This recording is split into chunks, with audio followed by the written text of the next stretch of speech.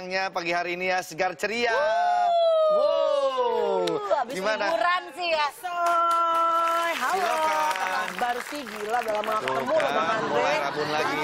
Mulai Kayaknya rabun ada lagi. masalah deh dia. Eh di Waro dong lu komedi. Ya kalau pagi mulai gitu rabun kalau pagi. Jadi gimana nih? Kan kita ngomongnya di sini, kenapa lo ngomong Iya. sama Puun? Nanya dulu ya, kan Iya. namanya juga tamu. Cewek ABG boleh duduk gak nih? Boleh dong. Boleh ya. Apa? Gue gak salah denger apa? ABG atas bawah gedong. Apa kabar kalian? Selamat datang di acaraku ya.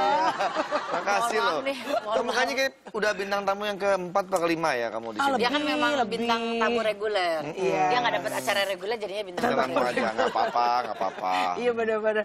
Kenapa sih kamu kelihatannya Kayaknya agak- ada, kesel. ada yang Gue lagi terpendam. kesel, Bo. Gue abis Kenapa itu, sih? Apa namanya, eh, ngepost foto, iya kan. Kan aku kan anaknya Instagram banget nih.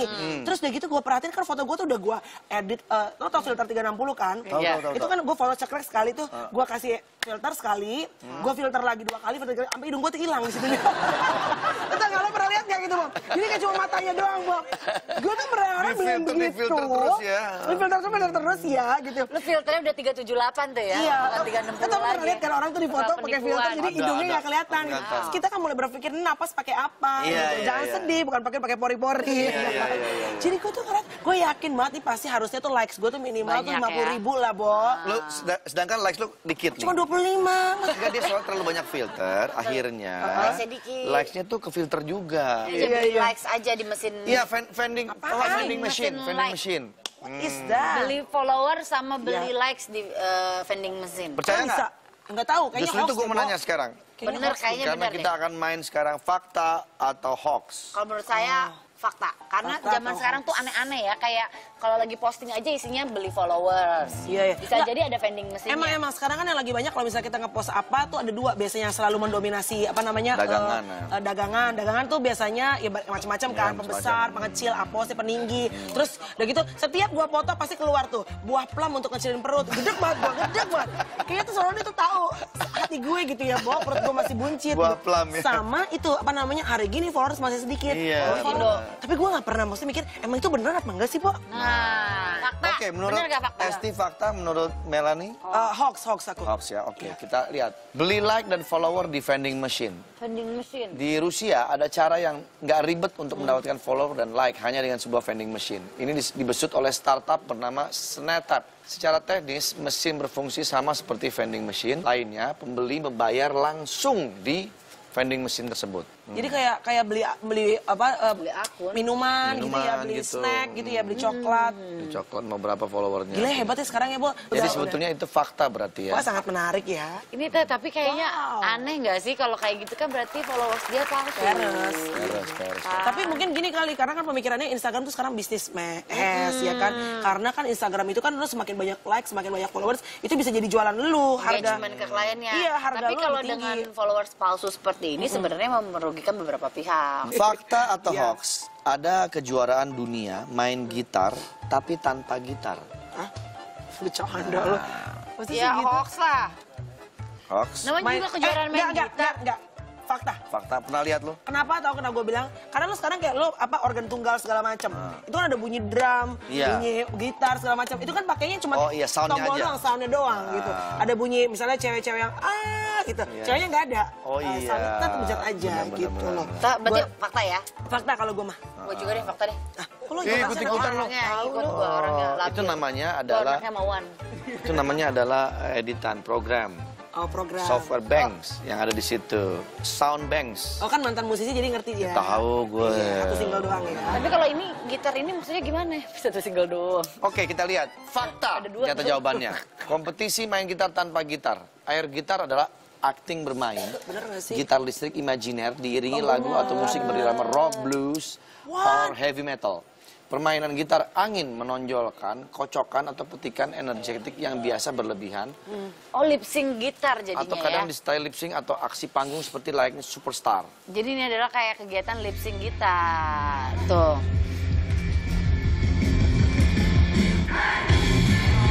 Lip sync gitar. Astaga.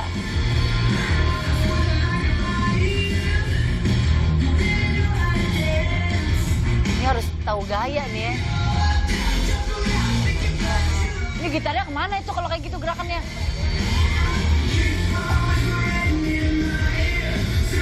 Penontonnya banyak banget lagi ya.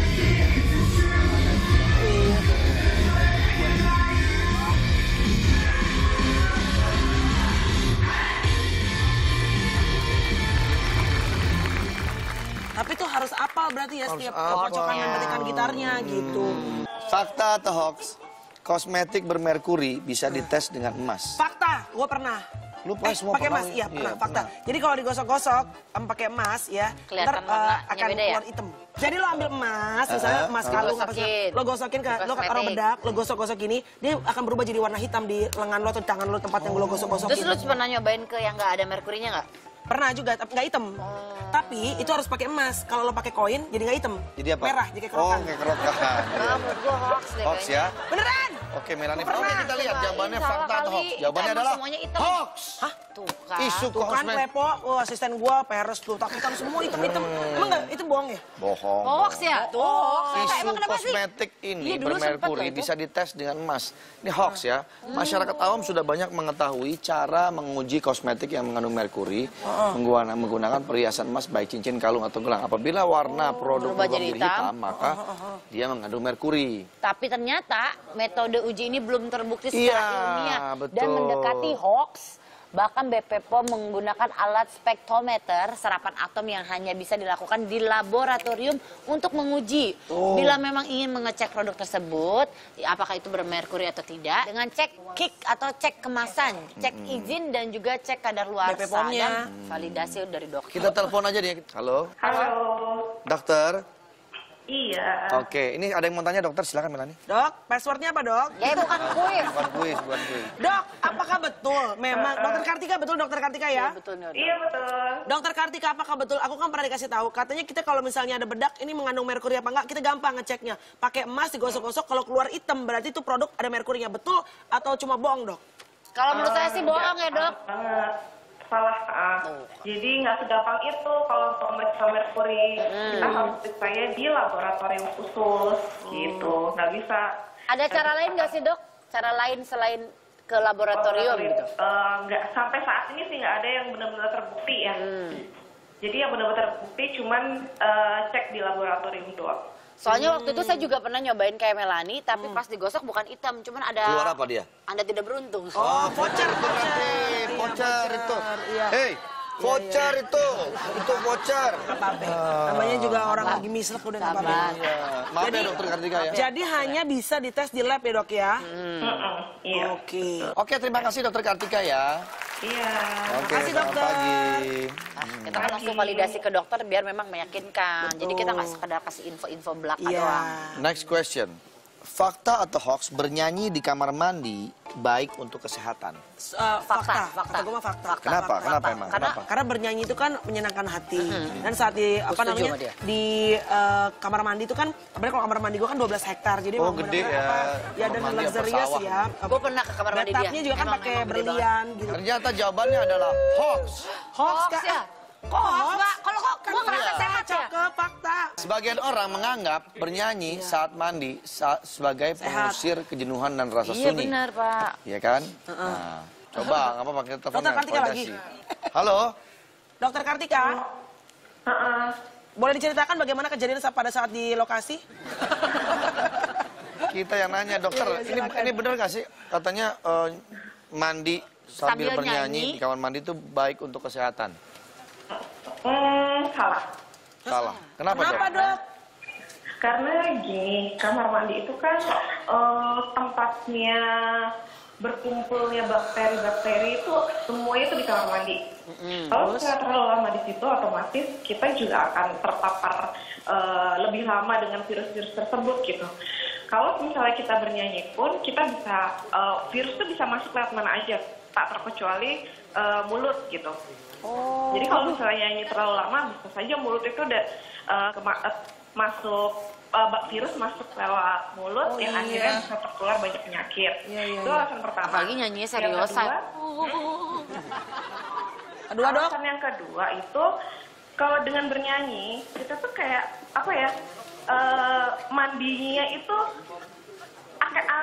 akan betah gitu, lebih betah di kamar mandi yang Lama. akhirnya menyebabkan Kulit eh, kering kulit ya? juga kering gitu. Kalau misalnya terlalu lama berada di kamar mandi. Jadi sebaiknya memang jangan terlalu lama. Bukan berarti harus cepat juga. Makasih dokter. Iya. Gue pengen beli susu buat bikin pomade. Oh, gitu. Alah, Pomade pomade buat rambut lengket dong kalau pakai susu. Eh, tenang. Beda nih. Ntar gue tunjukin ya. Oke. Kita kan akan main. Ntar gue balik lagi. Ya Oke. udah, ya udah, Oke, ya udah. oke. Oke. Oke deh. oke, oke. Ya, jangan lama-lama, ya. Kita Bentar, gampang bentar kangenan loh. Tunggu ya. Oke. Kita segmen 7 ya, balik Udah lagi ya. habis. Nanti kita lihat nih, bener nggak dia bohong apa membuat Hoax pomade dari atau fakta susu ya? ya? Oke, tetap di pagi-pagi. Semangat.